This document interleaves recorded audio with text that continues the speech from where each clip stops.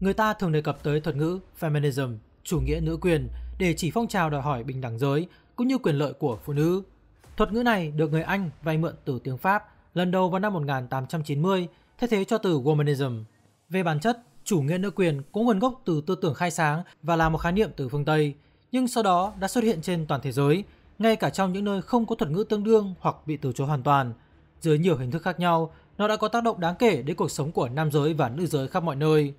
Những người ủng hộ chủ nghĩa nữ quyền luôn tranh cãi về ý nghĩa của từ và mục tiêu của nó, bởi khái niệm về sự bình đẳng giữa nam và nữ đồng thời vừa đơn giản lại vừa phức tạp. Thoạt nghe có vẻ rất đơn giản, nhưng khi phân tích định nghĩa của thuật ngữ, các học giả đã đặt ra rất nhiều câu hỏi phức tạp như bình đẳng cho cái gì, cho tất cả phụ nữ, vậy ai được xem là phụ nữ, bình đẳng giới có nghĩa là gì và ai có quyền quyết định vấn đề này? Từ những năm 1920, những người theo chủ nghĩa nữ quyền đã tranh luận về định nghĩa và nội hàm của chủ nghĩa nữ quyền. Một luồng tranh luận tập trung vào việc liệu phụ nữ có giống với đàn ông và do đó xứng đáng được đối xử bình đẳng mà không có sự thiên vị hay không, hoặc liệu họ có khác biệt so với đàn ông và do đó có những nhu cầu đặc biệt đáng được công nhận và đáp ứng. Một nguồn tranh cãi khác tại phương Tây cho rằng phụ nữ vừa là chủ thể, vừa là đối tượng của chủ nghĩa nữ quyền và họ có nhu cầu, mong muốn, khao khát chung cũng như đều bị đàn áp giống nhau. Nhưng những người phụ nữ da màu đã chứng minh rằng ở họ có khác biệt về chủng tộc, tình dục, giai cấp, quốc tịch, văn hóa, tôn giáo, tuổi và sắc tộc. Qua đó, không thể khẳng định rằng có một mẫu số chung về nữ tính cốt yếu mà chủ nghĩa nữ quyền có thể dựa vào. Các học giả hậu cấu trúc đã đi xa hơn và cho rằng các ý niệm được gắn liền với tập thể gọi là phụ nữ không ổn định theo thời gian hoặc với các văn hóa khác nhau, thậm chí còn khác nhau trong cùng một văn hóa tại thời điểm nhất định. Họ khẳng định rằng loại phụ nữ là một tùy biến liên quan đến các tùy biến khác, giúp ổn định và thiết chế hóa xã hội. Ở phương Tây tức là châu Âu và Hoa Kỳ, từ thế kỷ 18, những loại này đã bao gồm cả các khái niệm như tự nhiên, gia cấp, lý do và nhân loại, thay đổi theo thời gian và do đó tạo ra sự thay đổi trong các ý niệm về phụ nữ.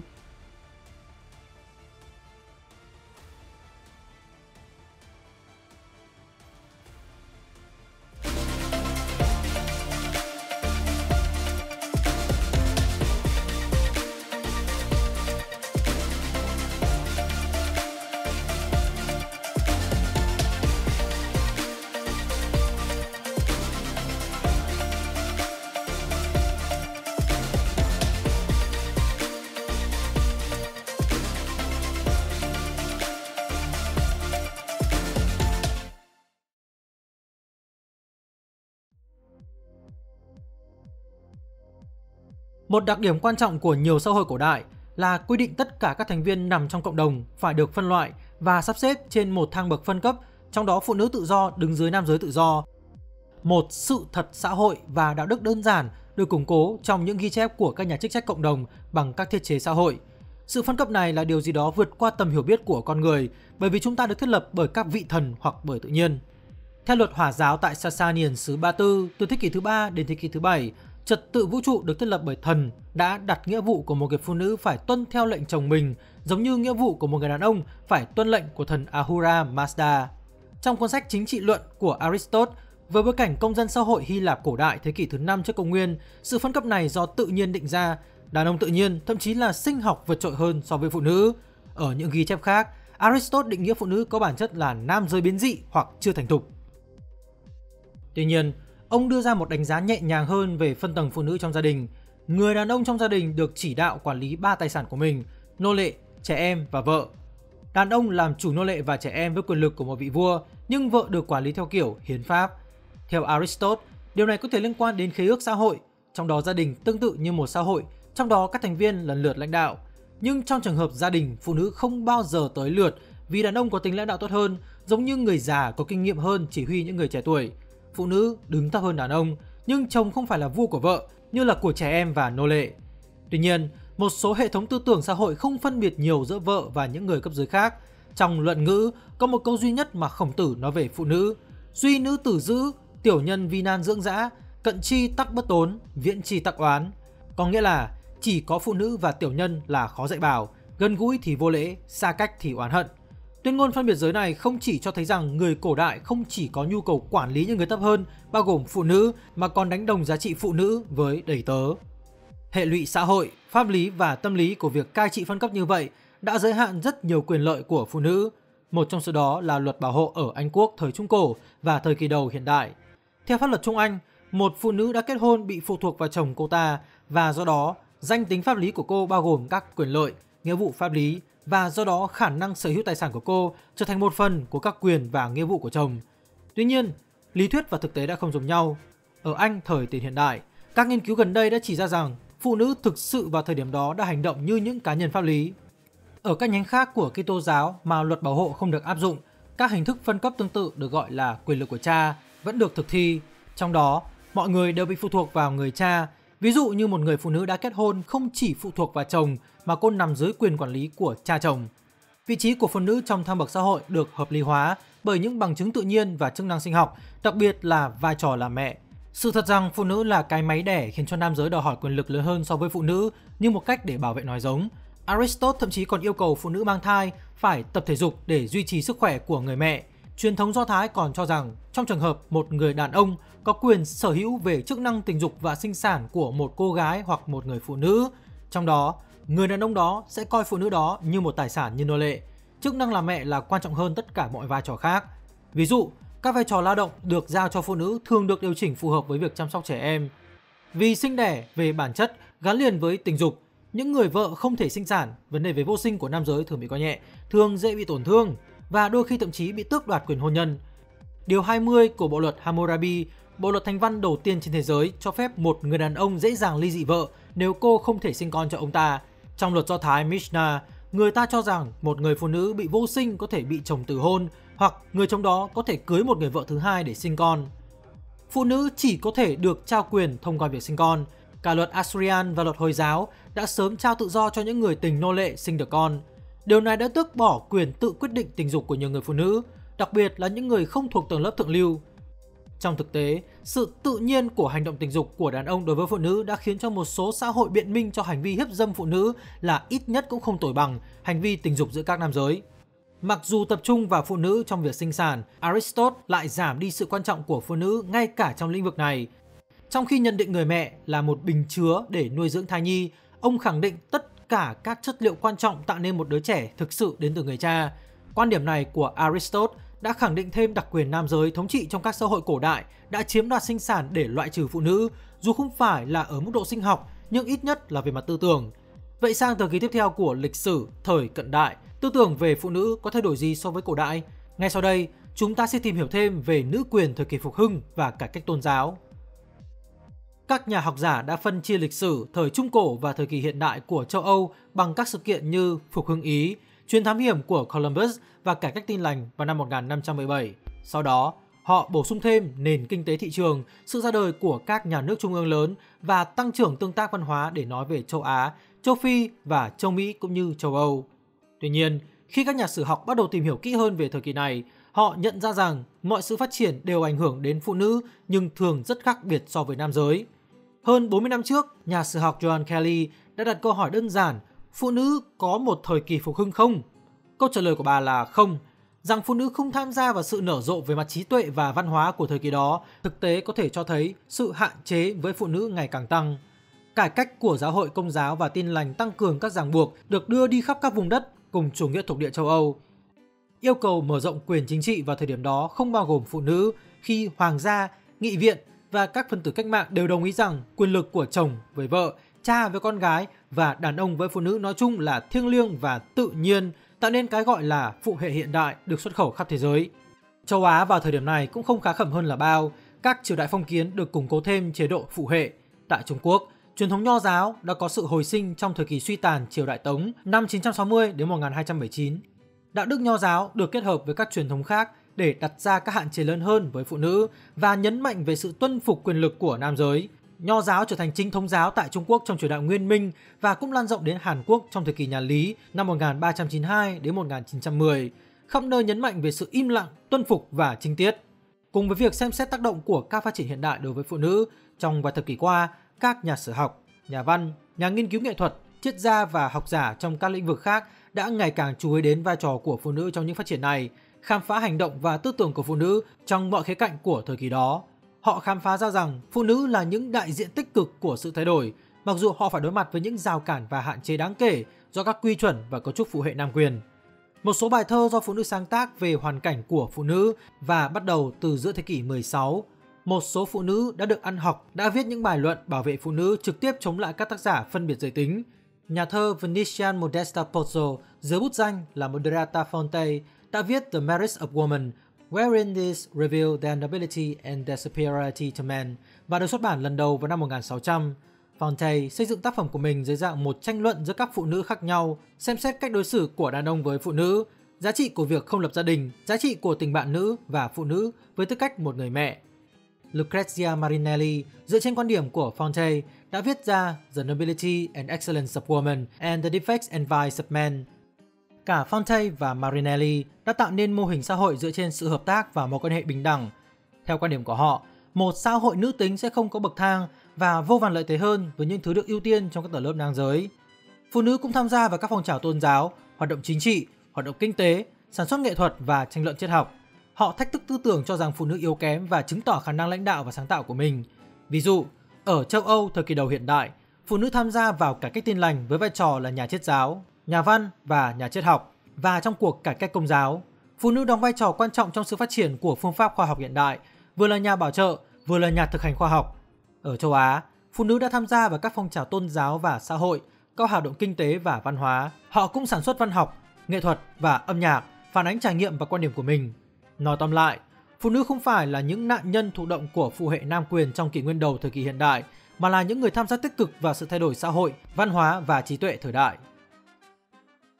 Phong trào nữ quyền đã biến đổi và toàn cầu hóa trong thế kỷ 20. Nhà sử học Nancy Cott đã cho rằng nữ quyền là một sự mâu thuẫn vì nó dựa trên ý thức tập thể về một người phụ nữ để tạo ra tình đoàn kết, nhưng đồng thời cũng đã đặt ra những thách thức về vai trò mà xã hội giao phó cho phụ nữ. Nó đòi hỏi sự bình đẳng giới bao gồm sự khác biệt giới. Phong trào nhận thức nữ quyền nảy nở ở các nước phương Tây vào giữa thế kỷ 19, song song với các hệ thống tư bản hiện đại và ý thức hệ tự do, được lan truyền khắp thế giới bởi phụ nữ da trắng. Nhưng may mắn thay, các mạng lưới phụ nữ quốc tế đã siêu việt ranh giới của tầng lớp, sắc tộc, chủng tộc và quốc gia.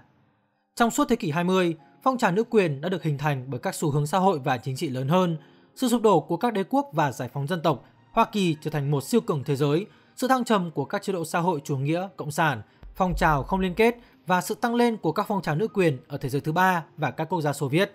Cuộc đấu tranh giành quyền bỏ phiếu khởi phát như hình thức đoàn kết mới của phong trào nữ quyền toàn cầu vào những năm 1890 và đầu những năm 1900. Tuy nhiên, những chiến thắng về quyền bầu cử ở Nga, Bắc Âu, Vương quốc Anh và Hoa Kỳ trong những năm 1910 và 1920 dẫn đến sự phân rã trong phong trào nữ quyền toàn cầu quyền bỏ phiếu không phải lúc nào cũng là một dấu hiệu tiến bộ về tình trạng của phụ nữ. Việc đảm bảo pháp lý cho quyền bỏ phiếu của phụ nữ không phải là kết thúc của cuộc đấu tranh cho sự bình đẳng. Một vấn đề khác nảy sinh song song với việc giành quyền bầu cử của phụ nữ là việc nhận ra rằng các quyền chính thức không nhất thiết cải thiện tình hình xã hội cho phụ nữ. Triết gia người Pháp Simone de Beauvoir đã viết một cuốn sách đột phá về chủ đề này vào năm 1949. Bà cho rằng vào thời điểm đó, người ta vẫn quan niệm rằng phụ nữ mang trong mình bản chất nữ tính tự nhiên và bẩm sinh. Trong The Second Sex, bà đã nghiên cứu lịch sử văn hóa và triết học Tây Âu để chỉ ra rằng vai trò của giới được xác định rõ ràng, không chỉ ở cấp độ luật pháp mà còn trong văn học, đạo đức và phong tục hàng ngày. Một người không được sinh ra như một người phụ nữ mà trở thành phụ nữ, có lẽ là câu nói nổi tiếng nhất của Beauvoir. Trong quan điểm này, khái niệm về giới được định hình bởi văn hóa và nó không mang một bản chất tự nhiên nào. Bà khám phá ra rằng vai trò bị động và phụ thuộc của phụ nữ trong xã hội không chỉ được phân công bởi đàn ông. Thực tế, chính những người phụ nữ cũng đóng một vai trò quan trọng trong việc duy trì trật tự xã hội này. Về mặt chính trị, bà yêu cầu phụ nữ được giải phóng khỏi vai trò xã hội làm mẹ và hơn hết, bà kêu gọi phụ nữ đặt nhiều năng lượng hơn vào sự nghiệp chuyên môn hoặc chính trị của mình và thực hiện các bước để đảm bảo rằng chủ nghĩa phân biệt giới tính sẽ dần dần biến mất trong xã hội. Trong khi các quốc gia phương Tây đã có tư tưởng mới về phụ nữ, thì ở các nước thuộc địa và hậu thuộc địa sau chiến tranh thế giới thứ hai, các tổ chức nữ quyền đóng một vai trò quan trọng trong các nỗ lực dân tộc giải phóng ở vùng Caribe, Trung và Nam Mỹ, Trung Đông, Đông Nam Á, Châu Phi.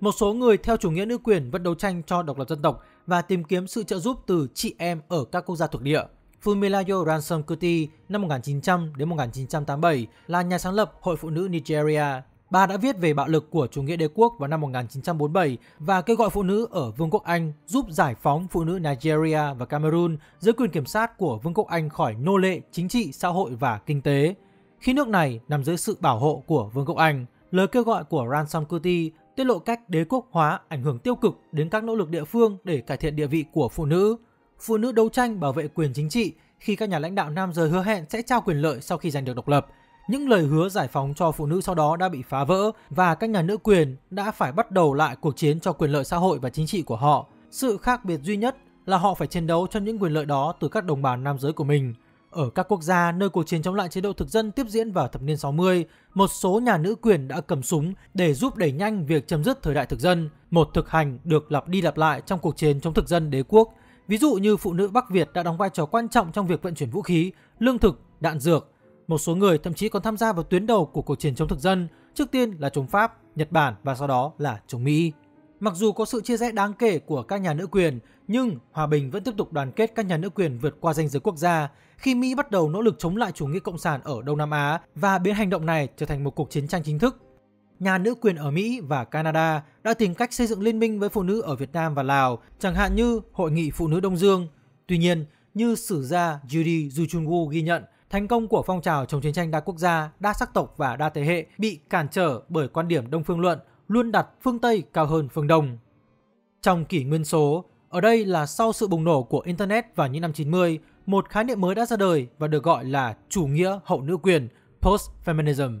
Trong bài luận của mình vào năm 2004, chủ nghĩa hậu nữ quyền và văn hóa đại chúng, nhà nghiên cứu văn hóa Angela McRobbie nhận định rằng cần phải xem xét lại nữ quyền và sự bình đẳng đã đạt được. Nó không còn cần thiết nữa, nó là một sức mạnh đã qua sử dụng.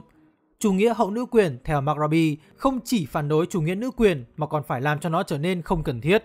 Nhưng đó không phải là tất cả. Chủ nghĩa hậu nữ quyền cũng khẳng định rằng phụ nữ có và có thể có quyền lựa chọn bất cứ thứ gì, bất kỳ phong cách, cách thức nào trong cuộc sống, bất cứ con đường nào tiến tới phía trước. Nói cách khác, Post-feminism khẳng định rằng chúng ta hiện đang sống trong một thế giới nơi phụ nữ có lựa chọn và với đủ nhiều lựa chọn, sự giải phóng phụ nữ sẽ tự nhiên đến. Để xem xét quan điểm này, chúng ta hãy cùng phân tích ví dụ phong trào Slutwalk. Slutwalk được khởi xướng bởi hai sinh viên Đại học Toronto vào năm 2011 sau khi một cảnh sát viên đề nghị phụ nữ tránh ăn mặc như gái điếm nếu muốn tránh bị xâm hại tình dục. Bình luận này đã khơi mào cho sự kiện Slutwalk đầu tiên và sớm lan rộng thành một phong trào toàn cầu. Slutwalk không chỉ là việc phản đối tấn công tình dục, nó khẳng định quyền của phụ nữ được đi bộ vào bất cứ thời điểm nào trong ngày và mặc bất cứ thứ gì họ muốn. Đây không phải là việc phủ nhận mà là khẳng định và lựa chọn. Khác với hầu hết các cuộc diễu hành của nữ quyền khác, Slutwalk không chỉ thu hút những đồng minh ủng hộ đứng xem ở bên lề đường mà còn ở những người đàn ông muốn nhìn trộm và chế giễu những người phụ nữ tham gia sự kiện.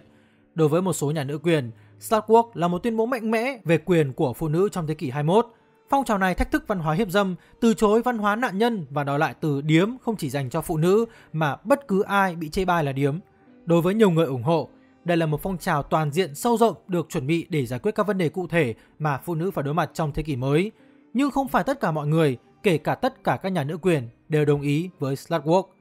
Trong bài báo trong năm 2012 đăng trên tạp chí Feminist Theory, Kathy Merriam đã tóm tắt Slutwalk chỉ bằng một vài từ gai gắt. Slutwalk về cốt lõi là ví dụ về loại chủ nghĩa nữ quyền trao quyền cho cá nhân. Chủ nghĩa nữ quyền ở đây từ một phong trào chính trị thành một thuật ngữ không có nội hàm ngoại trừ việc trao quyền cho cá nhân người phụ nữ lựa chọn bản sắc. Sự phổ biến của Slutwalk là do sự kiện này không chỉ xảy ra trên thực tế mà còn được ghi lại và lan truyền trên các nền tảng social media. Thế nên, dù chỉ ở quy mô tương đối nhỏ ở Toronto, nhưng nó đã trở thành một phong trào toàn cầu trong một thời gian ngắn. Đó là sức mạnh của những gì được gọi là nữ quyền mạng và đôi khi được gọi là hashtag nữ quyền hoặc nữ quyền số. Ví dụ nổi tiếng nhất về chủ nghĩa nữ quyền bằng hashtag là hashtag MeToo, Mặc dù ban đầu phong trào này là một cụm từ mà nhà hoạt động xã hội Tarana Burke đã phổ biến trên trang MySpace của cô ấy vào năm 2006, sau hơn 10 năm thì Me Too mới bắt đầu viral. Và điều này chỉ xảy ra sau cuộc điều tra về các cáo buộc lạm dụng tình dục của Harvey Weinstein được công khai và một số người nổi tiếng bắt đầu sử dụng thẻ MeToo trong các bài đăng về cuộc điều tra. Nhưng hashtag chủ nghĩa nữ quyền không thể rút gọn thành MeToo Trong thập kỷ qua, đã có vô số chiến dịch khác nhau trên toàn cầu cho thấy tiềm năng mạnh mẽ của việc tổ chức kỹ thuật số. Các chiến dịch này bao gồm hashtag Why I Stay, Everyday Sexism, Solidarity is for White Women và Rape Culture is When và rất nhiều hashtag khác. Trong thế kỷ 21, không còn nghi ngờ gì nữa về việc chủ nghĩa nữ quyền đã bị biến tướng. Đáng chú ý nhất, càng ngày nó càng trở nên phổ biến và càng ngày càng bị thương phẩm hóa bởi các quốc gia hậu công nghiệp và trở thành một xu hướng thời trang. Ví dụ như chiếc áo phông cao cấp We Should All Be Feminist trị giá 710 đô la, được thiết kế bởi Maria Grazia Chiori tại Christian Dior vào năm 2016. Tính đến năm 2020, chiếc áo phông vẫn được bán Dior nhưng giờ là 860 đô la. Trên phân khúc bình dân của thị trường áo phông khẩu hiệu nữ quyền, một phiên bản mới của chiếc áo phông The Future is Female có thể được mua với giá chỉ 30 đô la từ nhà thiết kế đến từ Los Angeles là Malia Mills, người đã tạo danh tiếng cho mình bằng thiết kế trang phục bơi cho phụ nữ có kích cỡ cơ thể khác nhau. Nếu The Future is Female thì đó là một tương lai nơi mà chủ nghĩa nữ quyền trở nên phổ biến và biến tướng. Đó là tương lai mà khẩu hiệu nữ quyền trên sàn diễn thời trang trở thành tiền tuyến. Đó là một tương lai nơi tầm vóc tư bản chủ nghĩa đến mức nó đã tìm ra cách khai thác nữ quyền hiệu quả nhất có thể. Trong khi thuật ngữ giới tính, giới được các học giả, tổ chức và cơ quan Việt Nam sử dụng rộng rãi, thì trong tiếng Việt không có từ tương đương nào cho feminist hay feminism. Tuy nhiên, có rất nhiều cách chuyển ngữ feminism sang tiếng Việt. Theory of Women's Rights có nghĩa là lý thuyết về quyền của phụ nữ, trong khi Women's Movement được dịch sang phong trào và lý thuyết phụ nữ. Một bản dịch gần đây của chủ ngữ nữ quyền sang thuật ngữ Hán Việt là thuyết vị nữ, bắt nguồn từ gốc của vị là vì có nghĩa là cho, thuyết vị nữ do đó được dịch thành thuyết dành cho phụ nữ. Những bản dịch này có xu hướng phản ánh cách hiểu phổ biến về nữ quyền ở Việt Nam như một phong trào xã hội nhằm chỉ mục đích thay đổi vị trí của phụ nữ, do đó là về phụ nữ, cho phụ nữ bởi phụ nữ. Đây là lý do vì sao nữ quyền ở Việt Nam như đã thấy ở những nơi khác được coi là chống lại nam giới. Vào thời kỳ phong kiến, phụ nữ Việt Nam thường được gắn liền với tam tòng, tại gia tòng phụ, xuất giá tòng phu, phu tử tòng tử và đi xa hơn là tứ đức, công, dung, ngôn, hạnh. Công để chỉ những việc nữ công gia tránh. Dung được hiểu là dung nhan bao gồm cả khí chất như là nết na thùy mị dịu dàng. Ngôn là lời ăn tiếng nói hay là đoan tránh dễ nghe. Còn hạnh là phẩm giá của người phụ nữ, cụ thể là trinh tiết. Đây là ảnh hưởng sâu sắc nhất của nho giáo tới phụ nữ Việt Nam về mặt tư tưởng và trở thành thước đo chuẩn mực về mặt đạo đức. Nhưng ngay cả khi đối mặt với những áp chế từ ý thức hệ, xã hội và văn học Việt Nam đã mang đến cho các nhà nữ quyền làn sóng thứ nhất nguồn cảm hứng với những câu chuyện về các nữ anh hùng và những thủ lĩnh nổi dậy, chẳng hạn như Hai Bà Trưng, Bà Triệu và Bùi Thị Xuân. Trong khi chuyện kiều của Nguyễn Du khai mở hoàn cảnh bi đát của người phụ nữ, thì Hồ Xuân Hương tập trung vào phê phán nam quyền phụ hệ. Theo tinh thần phản kháng này, Hội Phụ nữ đầu tiên được thành lập vào năm 1926 với tên gọi là Nữ Công Học Bội. Nó tập trung vào giáo dục phụ nữ và thu hút phụ nữ ở Đông Dương thuộc Pháp trong bối cảnh các em gái hầu không được tiếp cận với giáo dục. Trong thời kỳ này, một số lượng lớn phụ nữ đã tham gia vào các nhóm đọc và xuất bản đề cập đến các vấn đề mà phụ nữ Việt Nam phải đối mặt. Năm 1930, khi kháng chiến chống chủ nghĩa thực dân Pháp ngày càng được tổ chức chặt chẽ, Hội Phụ nữ Giải phóng Việt Nam được thành lập để đại diện cho phụ nữ trong cuộc đấu tranh giành độc lập. Trong chiến tranh giải phóng, Liên minh hợp lực với Đảng Cộng sản. Từ năm 1930 đến năm 1950, Hội Phụ nữ trải qua nhiều lần đổi tên. Từ năm 1941, lấy tên là Hội Phụ nữ Cứu Quốc. Tại Đại hội đại biểu Phụ nữ Toàn quốc lần thứ nhất được tổ chức vào tháng 5 năm 1950, Hội Phụ nữ Cứu Quốc được đổi tên thành Hội Liên hiệp Phụ nữ Việt Nam và vẫn giữ cho đến ngày nay. Thay vì theo đuổi nữ quyền phương Tây, Việt Nam đi theo con đường kinh tế thị trường định hướng xã hội chủ nghĩa để hòa hợp mối quan hệ giữa văn hóa, tâm linh và tiến bộ vật chất. Một thông điệp phức tạp và hơi trái ngược khuyến khích phụ nữ trở nên nữ tính ở cả vẻ đẹp bên ngoài bằng cách tiêu thụ nhiều và thật nhiều nhưng vẫn phải nữ tính ở bên trong qua việc giữ lại tứ đức của nho giáo và đồng thời khẳng định chính sách bình đẳng giới. Diễn ngôn mới về phụ nữ này chịu ảnh hưởng từ thời kỳ đổi mới khi Việt Nam đã thực hiện những bước đầu tiên để chuyển từ nền kinh tế kế hoạch hóa tập trung sang nền kinh tế thị trường. Quá trình công nghiệp hóa nhanh chóng của Việt Nam ngày càng đòi hỏi một lực lượng lao động mới, trong khi khoảng 70% phụ nữ ở Việt Nam tham gia vào thị trường lao động, cơ cấu nghề nghiệp giữa phụ nữ và nam giới có sự khác biệt với nhiều phụ nữ làm trong lĩnh vực sản xuất, giáo dục và y tế, lĩnh vực dịch vụ và lao động làm thuê trong nước. Phân công lao động theo khuôn mẫu giới ảnh hưởng đến việc lựa chọn nghề nghiệp theo nghĩa là phụ nữ thường nhận những công việc gần nhà để có thể chăm sóc con cái và người thân ốm yếu. Theo một nghiên cứu của Care, Oxfam và SNV vào năm 2019, các công việc mang lại thu nhập vừa có thể cho phép tăng cường sự độc lập của phụ nữ nhưng cũng dẫn đến gánh nặng công việc gấp đôi theo giới tính do phụ nữ thường phải gánh vác trách nhiệm của gia đình. Vừa là người đi làm, đồng thời là người chăm sóc chính, có thể ngăn cản phụ nữ tham gia đầy đủ vào các cơ hội lao động. Họ bị cản trở trong việc tham gia đào tạo chuyên môn và phát triển các kỹ năng cần thiết để thăng tiến và cho các công việc thường được gọi là phù hợp hơn với nam giới như là lãnh đạo và quản lý. Vai trò người mẹ xuất hiện trong các diễn ngôn đại chúng như là một năng lực đặc trưng của phụ nữ. Do đó, gia đình trở thành nơi thể hiện những cảm xúc sâu sắc nhất vì nó được coi là trung tâm đoàn kết, hài hòa tâm lý và tình dục, một tế bào của xã hội. Quan điểm này buộc phụ nữ phải vào một thiên chức đối với việc mang thai, sinh con và nuôi dạy trẻ em. Trong một môi trường đề cao việc làm mẹ và cuộc sống gia đình, phụ nữ độc thân không có con thường xuyên rơi vào những tình huống khó xử. Xét về mối quan hệ giữa phụ nữ và đàn ông trong một đất nước gia trưởng và đầy định kiến giới, học giả Ngô Thị Ngân Bình nhấn mạnh vào các thách thức mà những người phụ nữ mới cưới gặp phải khi chuyển từ nhà đẻ sang nhà chồng và bố mẹ chồng. Không chỉ giới tính mà còn tuổi tác, giai cấp cũng đóng vai trò quan trọng khi mẹ chồng giữ vững những hiểu biết cổ hủ về tư đức và so xét cách con dâu thực hành những quan niệm đó. Những định nghĩa mới về nữ tính đã tiến hóa qua thời gian và nội hàm của nó hoàn toàn đối lập với những quan điểm chung phổ biến về nam và nữ. Nam giới sở hữu khả năng suy nghĩ, hành động độc lập, hung hăng và vị kỳ. còn phụ nữ sống trong một thế giới riêng tư, phù hợp với những đặc tính nữ tính gọi là bẩm sinh, dễ xúc động, ngoan ngoãn, phụ thuộc và vị tha. Nhưng phải thừa nhận một thực tế rằng Feminism đã không còn là cuộc cách mạng sắp đến như trước đây, mà là một nền tảng phức tạp và đôi khi còn mâu thuẫn với nhau, và dựa vào đó, tương lai có thể được xây dựng. Feminism trong thế kỷ 21 không còn là một bảng trắng trơn để tưởng tượng ra nó sẽ trông như thế nào. Nó giống như bất cứ ism nào khác mang gánh nặng và được xác định bởi những đấu tranh và sự căng thẳng trong quá khứ.